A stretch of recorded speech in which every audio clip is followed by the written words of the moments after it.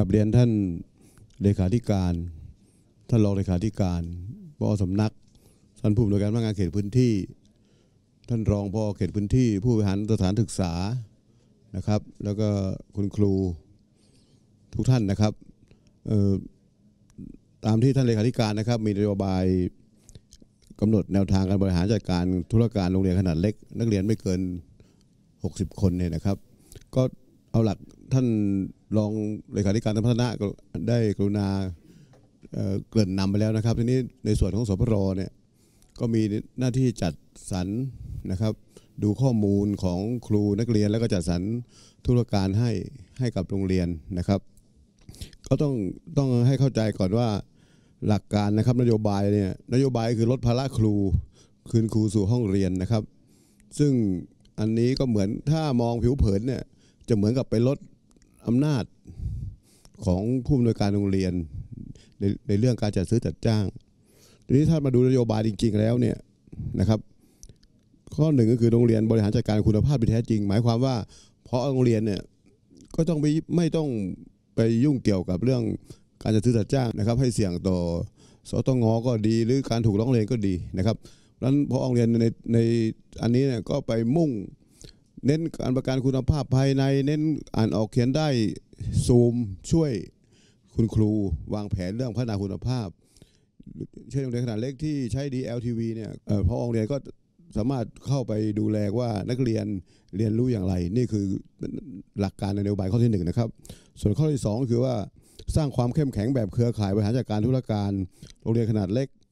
ระดับเขตพื้นที่ระดับอำเภอ หรือระดับศูนย์หรือระดับกลุ่มโรงเรียนนะครับ เน้นเป็นการคล้ายๆพี่ช่วยน้องนะครับให้โรงเรียนเล็กๆเนี่ยให้โรงเรียนระดับกลุ่ม ระดับศูนย์กลุ่ม ศูนย์อำเภอเนี่ยช่วยเหลือกันในระบบธุรการโรงเรียนนะครับ หลักการข้อที่สามคือลดภาระครูงานด้านจัดซื้อจัดจ้างที่พูดไปแล้วนะครับ ส่วนข้อ4เนี่ยสำคัญที่สุดนะครับคือว่าให้อิสระนะครับ การบริหารจัดการในนโยบายนี้เนี่ย ตามบริบทเขตพื้นที่ ดังนั้นจึงไม่มีจึงไม่มีอะไรที่ตายตัวเพราะแต่ละเขตพื้นที่นั้นมีบริบทพื้นที่ที่แตกต่างกันนะครับ แนวทางบริหารจัดการนะครับ กรณีที่หนึ่งนะฮะกรณีที่สพทมีธุรการโรงเรียนครอบทุกโรงเรียนเนี่ย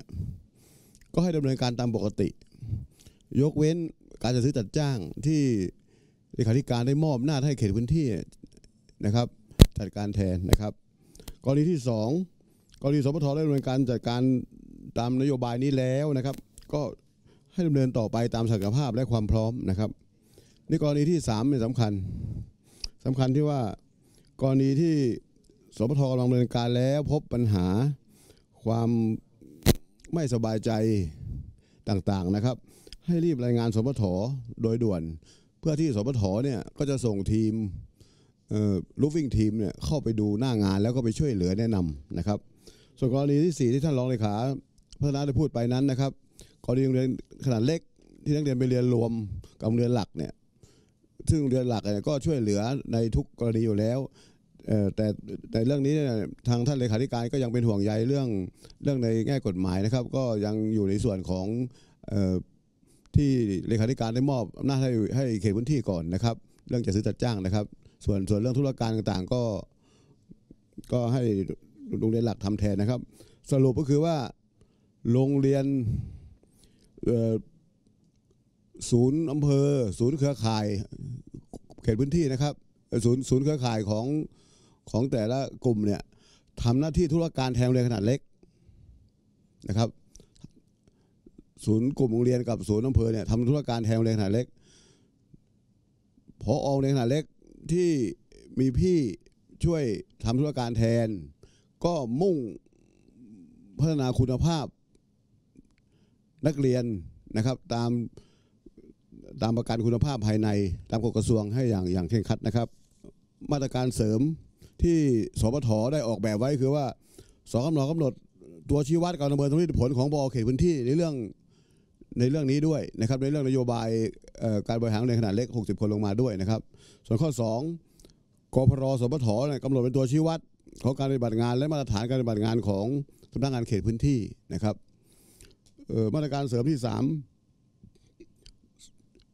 สปทกำหนดเป็นประเด็นท้าทายนะครับ ในการปฏิบัติงานตามหลักเกณฑ์ว12นะครับ ให้พอเขตนะครับ สามารถนำนี้เป็นประเด็นท้าทายนะครับ โดยเฉพาะพอเขตที่ยังไม่ได้เชี่ยวชาญเนี่ยถ้าท่านทำเรื่องนี้ได้สำเร็จดีเนี่ยท่านเลขาธิการก็จะ ถือว่าเป็นประเด็นท้าทายที่มีสำลิผลที่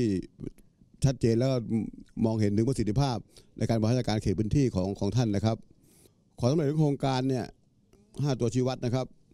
อันแรกก็คือว่าถ้าเขตพื้นที่สามารถจัดการได้ตามบริบทของเขตพื้นที่นะครับท่านเลขากับท่านรองเลขาย้ำแล้วนะครับว่า ให้เป็นไปตามความสมัครใจของธุรการโรงเรียนนะครับ ธุรการโรงเรียน อันแรกก็คือลดพลังงานของครูในขนาดเล็ก